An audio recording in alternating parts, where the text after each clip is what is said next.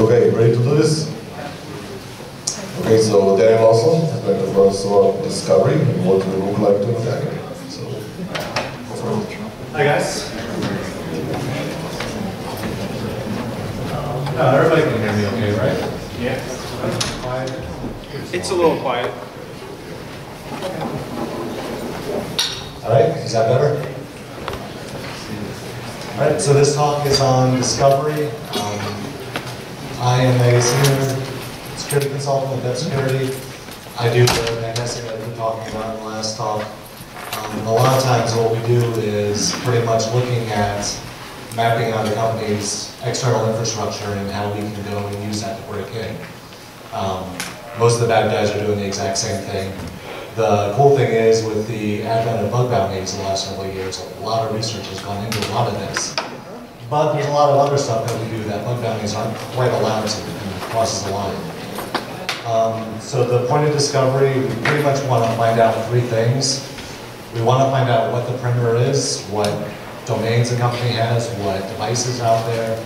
You know, I found anything from a random web server that had domain creds sitting inside of a backup file that they had just copied over from inside.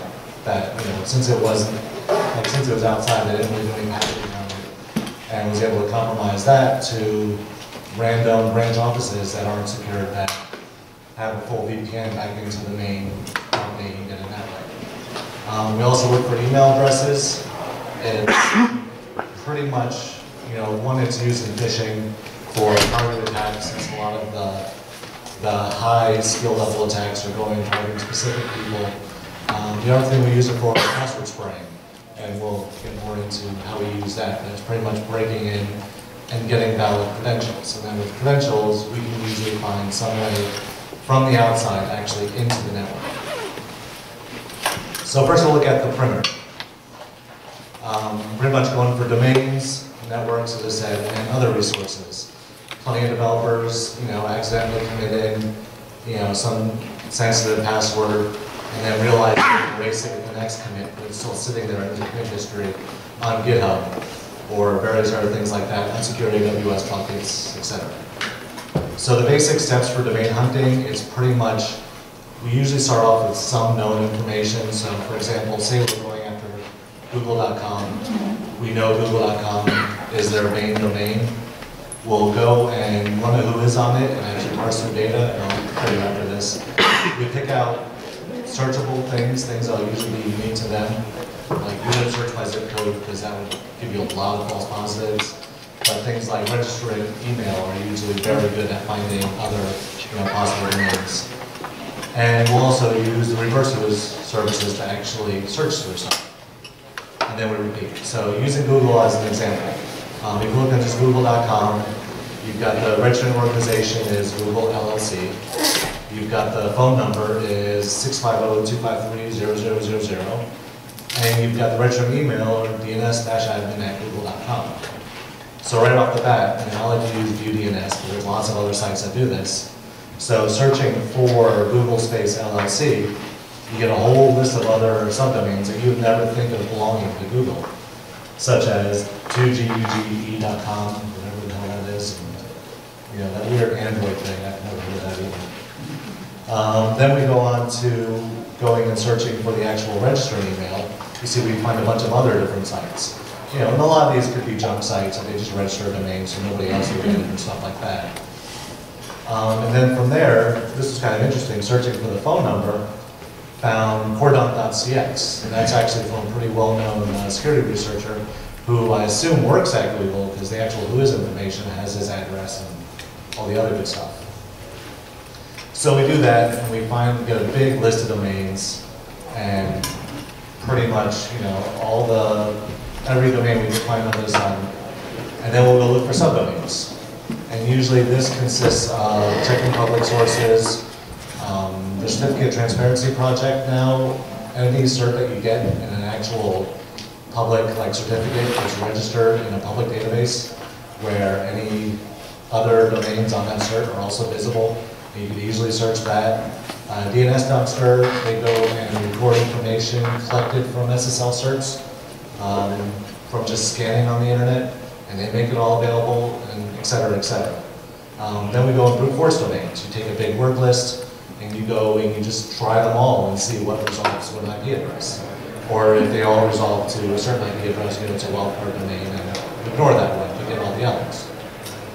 There are so many tools that do this, like ridiculous amounts of tools. I'm pretty sure there's been one release every week in the past month of somebody else coming out with some new subdomain enumeration tool. Um, my favorite is for just the enumerating stuff, sublister. Um, works very well, checks several different sources, you know, works fairly fast. The Harvester is an old favorite.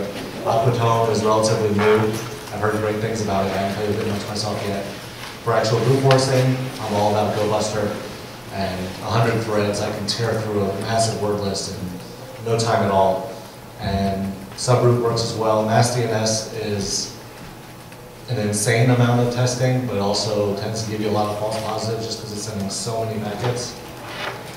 Uh, but here's an example of running sublister against coredump.cx. Actually came out with 13 different subdomains that they've had. Uh, Google.com using GoBuster and actually just brute forcing, just started firing off, you know, found it was something like four or 500 different domain subdomains. And again, all this stuff right here is heavily developed by Bug, by uh, Bug Bunny, Bug Bounty Hunters, sorry. Just because this is where they get all their money from, finding new things out on the internet. So for actual network hunting, it's actually very similar. You take a known IP, so say you go and resolve google.com, what IP address it comes to. You can go into who is on that IP, and then you get the same types of information, contact name, uh, contact emails, company name, so on and so forth. And then you use, mainly Aaron has a great reverse, who is a site that let you search for registered name and company names. There's other paid for services that let you search for other things like phone numbers and stuff like that. And then as you find more stuff, you'll find more things to look for.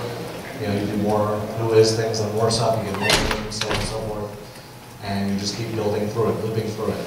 So with a random Google IP, I got this, Google LLC again. Uh, I got their address, if you're using the paid for services, you can search there. I Also got a phone number and a contact email address. So going through Aaron, looking at Google Space LLC, got me a whole bunch of domains. Aaron is kind of funny in that it's not case sensitive, but it is letter sensitive. Like, if you search for Google, it will only give you exactly what matches Google. What they don't publish is that you can use a wildcard. Say Google star, it gives you everything. So this turned up a whole bunch of other ranges. And if you actually follow these through and actually click through on them, you'll find all the different IP ranges that uh, they pretty much own. Looking for other sensitive assets, um, GitHub Secrets, as I said before, there's a lot of tools that are made specifically for searching through Git history, where it'll just go clone all the repos from a company and go through every single iteration back looking for keywords like password or secret or key or anything like that. Um, Trufflehog will also go and look for strong passwords that you'll usually have like API keys or usually like a random thing. And it'll use some math magic that I'm not totally familiar with to go and point those out. Uh, AWS buckets, there's a lot of programs that are useful for brute forcing buckets, looking for unsecured buckets. There's been a lot of people that have been on, like pretty much having things like database backups and stuff like this from all their AWS infrastructure sitting without password there. Um, you can also find, if you look in, you know, just Google Dorks, you can find a lot of people's AWS stuff. You'll find confidential reports and stuff like this that are just sitting out there getting indexed that they don't realize is there. It's pretty much, a lot of this stuff comes down to your creativity. You'll find things that look suspicious. You'll want to kind of pull further and you'll find something else and go down a lot of different rabbit holes. The next thing to look for are email addresses. Um, this, there's also a lot of stuff, not so much in the bug bounty area because it's not really something that the bug bounty people are concerned with. You know, most bug bounties, they say you're not allowed to touch the employees. And employees are all allowed to go for actual attackers or for, you know, doing actual penetration assessments. That's not the case at all. We allow them employees. So There's lots of tools that'll go through various uh, public sources, um, search for Google, search through various documents that are on the sites, look at the author, metadata, pretty much. We go through security breaches, and a lot of you are familiar, like LinkedIn had a security breach, um, MySpace did, Dropbox did, Adobe did. They just keep on happening. Usually these end up in the public, and we go and actually take them and turn them into a searchable database. So we can search a domain and pull up all the credentials and all the usernames that have, you know, been released. And even ones that I say it's not a big deal because it's, you know, like Adobe, everything is encrypted and nobody has the encryption key. All the email addresses are still right there in plain text, and we can still use those in the other attacks. Um, and then social media. LinkedIn is great for getting people's email addresses and user info. And I'll show you, I don't want to ruin the surprise, it's really cool. Um, so various tools, the Harvester is great for going and scraping email addresses off the web. You pretty much just run it, give it a domain, tell people after everything, it'll search Google, Bing, various other places. Um, documents, there's Power Data, and now a Python equivalent, PyBeta, that'll pretty much go through, search for docx, PowerPointx, um, XLSX files on websites in a domain, download them all, and then just pull all the metadata, PDFs as well. And then there's various databases that all they do is get user info. And that's their business is documenting people's email addresses to sell back to marketers and whoever else. Um, so just as an example, this is the Harvester being run against Google. Obviously with Google, there's a lot of garbage in there. You get dumb addresses that can't possibly exist, but you also find a lot of legitimate ones. Uh, this is running the exit tool I guess Google, and you can see there's lots of employee names are in there. You know, we first run Office and ask you what your name is. If you type it in, then every single document you save from then on out has that embedded in it. So people make forms and stuff like that, put them up on the site, and then I get the name. Security breaches. So LinkedIn, Adobe, Dropbox, uh, MySpace. There was actually a massive dump just released this year that's pretty much a like it's a collection of lots and lots of plain text credentials from lots and lots of other dumps. Um, another thing with these dumps is the weaker ones, like LinkedIn, all the passwords were MD5 hashed, or no, SHA-1 hashed, which is relatively easy to crack. There's websites that have competitions on who can crack the most of them. And then people like me can just go and download all the cracked hashes. So I have 99.95% of the plain text LinkedIn passwords, you know, including my own, unfortunately. I'm, I'm in there too. And so this is just a uh, look into, you know, for Android.com, this is our actual internal database that we use. This is all public information, 10 minutes of Googling can pull it all together. It takes quite a bit more to get in database form just because it's pretty sloppy data and takes some conditioning to get it to usable, but still, it's all, it's all pretty much there. Now, actual social media sites.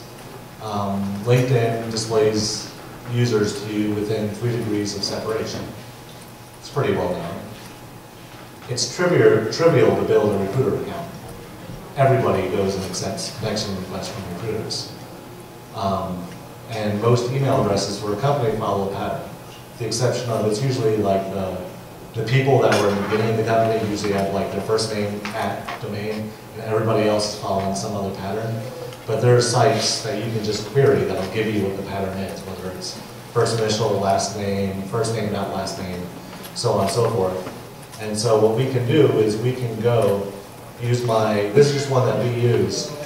I just created this account a couple months ago. I've got 1,400 connections in the Kansas City area. I can see everybody. like, this is uh, google.com. I don't know any Google people personally. I never remember connecting with anybody from Google. I could see pretty much 83,000 different people. Um, linked, LinkedIn only goes up to 1,000, so I'd have to do something clever to actually go and get the rest of them. But so with most companies, I can get about 80% of their staff. Um, if I don't already have them as connections, I just go pull up the company and just start connecting with everybody. And then, you know, all I need is one, one, probably like one or two out of 10. If that many head with me, I can see everybody else. And then that opens up a bunch more, head with a bunch more, before you know it, um, I'm in with everybody. Some of you might even be friends with the recruiter back there. So, okay, good, so we got a whole huge list of names, we built email addresses from it based on whatever pattern. Now we want to get valid credentials. Now this, from the bug bounty perspective, or anything else, this is getting into stuff that's illegal if you're not contracted to do this. Um, Everything before, you know, LinkedIn is kind of gray area, you know, kind of, you know, earlier is no touch, this is light touch, now we're getting into the bad touch stuff. Um, So just saying, don't do this unless you have permission, I'm liable if you do. So the next thing we would do is look for endpoints. Um, Usually you want places that will use credentials, and ideally you want something where they have Active Directory hooked up, because that's going to be going into their actual backend domain. Um, Look for Outlook Web Access, you look for VPN, Citrix, you know, so on and so forth. You can find all sorts of random things. Uh, Then we go and try to see if there's a way of figuring out what valid usernames are. Um, Some services are very well secured in that they give you the same message no matter what. Some of them, like OWA, is terrible for hiding valid user accounts. There's usually a two to three second delay if you have a valid user account and incorrect password. Now, I'll show you in a screenshot. I can very quickly go through, find out which of my accounts are actually legitimate Outlook accounts, and um, then go and see what the actual pattern is. I've had times where the pattern I had was wrong, and then I went and changed out all the other stuff I got from LinkedIn to the correct pattern and got a whole bunch more. So after you do that, you actually do password spraying. Um, those of you that aren't familiar with password spraying, it's, you know, everybody knows what brute forcing is, right? It's where you take an account and you try every password until you get in. That doesn't work pretty much anywhere anymore because most people have, you know, most services have a lockout. Three incorrect attempts or five incorrect attempts, the account is locked, no more attempts will work. Password spraying tries one weak password against all of the valid accounts that you have. This is really, really effective, especially because of the 90-day password change policy. I guarantee you, everywhere your organization, somebody has a password spring 2018, or winter 2017, or winter 2018, or spring 2018, bang, or spring 18, so on and so forth. We almost always get in with these. And we will find valid users in pretty much every company. It's actually, this is the reason why NIST changed their guidelines to say that you don't need to expire passwords anymore. Because it just, it trains people to make them predictable. And even if, you know, it's only one out of a thousand people set their password as that, that's all we need. Um, it gets even better with something like Outlook Web Access, where we get in one person's account, low privilege account, doesn't get us anything else, but now we have the global address list, which gives us all of the AD accounts, and then we can password spray against all of those and find 20 more with that weak password who aren't even exposed anywhere on the internet. And this worked done before, and then you know you find out one of those persons has VPN access, you get in a VPN and it's game over, you just compromise the domain. So you look for hopefully domain join login points. Um, one of the usual, you know, outside of just scanning everything, you can usually look for index records, get an idea of where their email goes. Um, if you bounce a message, you can kind of see where, you know, an IP address of every server along the way. Um, you can do light port scanning, just looking for web servers, use something like Eyewitness or GoWitness that'll just go through all the ports, you- all the web servers you give it and just take a screenshot. And then you quickly just cycle through the screens, search Shodan, Google, etc. You know, I'll show you an example. Here's just in URL, IBM.com login. Gives me a whole bunch of different IBM.com login sites. I didn't click on any of them because they're not our client. That's pretty good. Um, So looking at the differences between valid and invalid accounts, you can look at error messages. You can also look at time delays, like the thing with Outlook. Um, And you can also, a lot of times, look at account registration pages if they support it, where you go and put in valid accounts and it says this account's already taken, or something of that sort. So here is valid Active Directory domains. You can also, with Outlook Web Access, actually brute force the domain itself, if it's like a domain slash email, because on, it's with invalid domains, it always gives you no delay. With a valid domain and an invalid user, you get a three second delay. So this right here, I found that that was the actual valid domain. Then from there, you can go in and then just spray all the user accounts. And you can see all the ones with no delay are the valid user accounts. And, you know, right there, I have all those in my arsenal. And then, you know, with spraying, we usually only do it once every two hours, just so we don't lock anything out. And it's, it's crazy how quiet this attack is. Most people aren't looking for it, and don't expect it.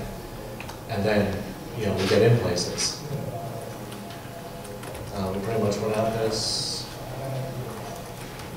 So we space it all out. Here's an example of actually successfully password spraying. Um, we had several timed ago, but you can see Spring 18 right here got us into this account out of all the other failed ones. And we were actually able to go from here and compromise this file. So conclusions, everything is screwed, right?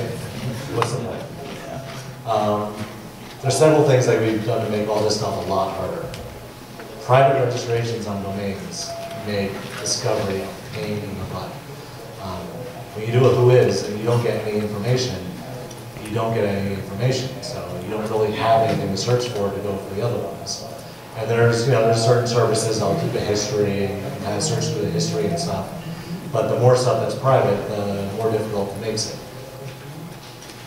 Use strong password policies, like actual real strong password policies, not the, uh, you know, uppercase, lowercase, one number, one special character, uh, eight characters long, changes every 90 days, the 80 default.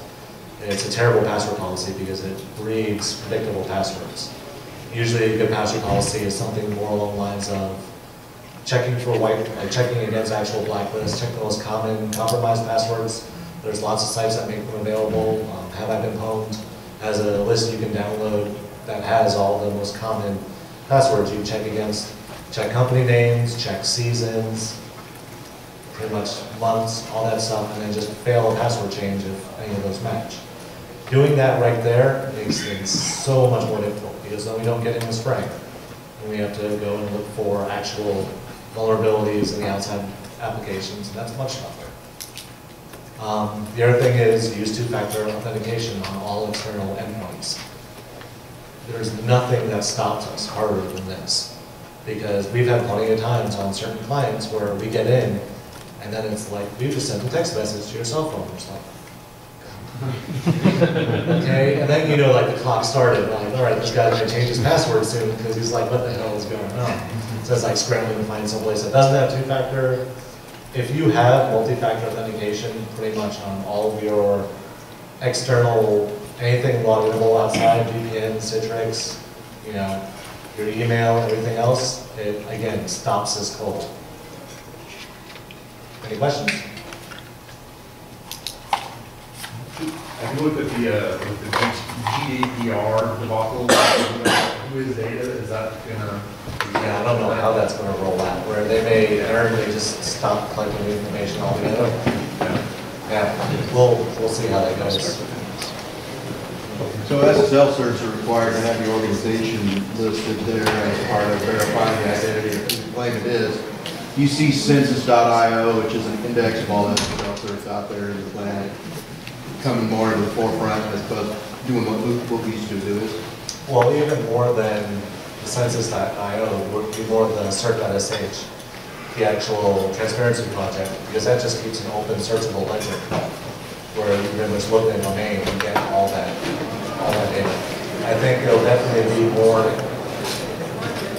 yeah, I guess as going forward, that'll definitely be another way to go and find domains, is searching for actual stuff in the certificates. How much does that change if you're looking at where we're thinking perhaps to be close? Well, IPv6, so from a discovery viewpoint, this is way more um, important than IPv6. Because IPv6, you can't just scan a subnet. No, what I'm, what I'm asking is if you have an IP IPv6 address, it tells you what APs, what actual building, what network you're on, and it links it out as you move around on your device. Which is one I'm wondering about, what will change you, how much, that's a lot of information given out. It is. Um, Usually the stuff that we're attacking isn't so much the things that are mobile, that are things that are actually, like for example, most cell phone providers right now are exclusively using IPv6 with IPv4 and adding somewhere along the line. And none of that gives us anything to talk about. Um, At this point, it's, with all IPv4 stuff being so prevalent as it still is, that's still the low hanging fruit. Um, it'll definitely change as technology changes, as it always does. But one big thing with IPv6 is just the lack of scalability. That's a huge deal for us, because, you know, usually I do an external assessment, I pull up an IP range, and I look for active hosts. With IPv4, that's pretty easy to do. IPv6, that's next to impossible. There are just too many possible hosts. So using something that leaks the information of what's out there, such as DNS, is much more important in that area. Can I train my sim to look for your spring? Yeah, if you go and just track um, failed login attempts, if you see a box getting slammed with just general failed login attempts, um, you could do it from the same IP. There's ways of going and, you know, there's lots of tools. There's new ones just came out, Doxy Proxy, that'll go and pretty much rotate your password spray attempts through, you know, a couple of dozen proxies. But are you attacking one box with the spring with One box. credentials? One box, multiple user accounts, one password. Yeah, so we're,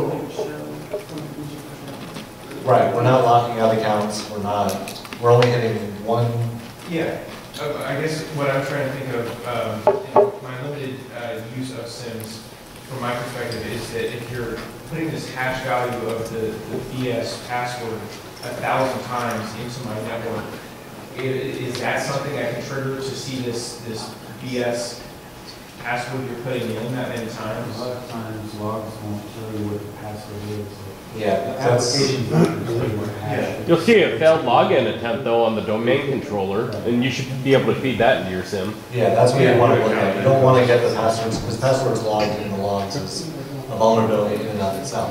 But when I see this, that system of your process, you really bring the launch from the rank, you really live for a system that has thousand password Yeah. Yeah, and it'll usually just be one after another, it's not You don't care about that? That, that, that's so easy. I mean, yeah, I mean, well, A, It's not a big deal, because we've had times where we've done a password spray, and then our IP got blacklisted, and we just pop up our number out, you can find out. And then we've attacked it somewhere else, like getting, your source IP is very easy to change, there's, God knows how many different proxy systems and stuff like that. I mean, my buddy set up a server in his basement and he's getting this type of attack, just root password from China, and and his log's filling up. Yeah, it's just, it's a given now. Any other questions? All right, move on.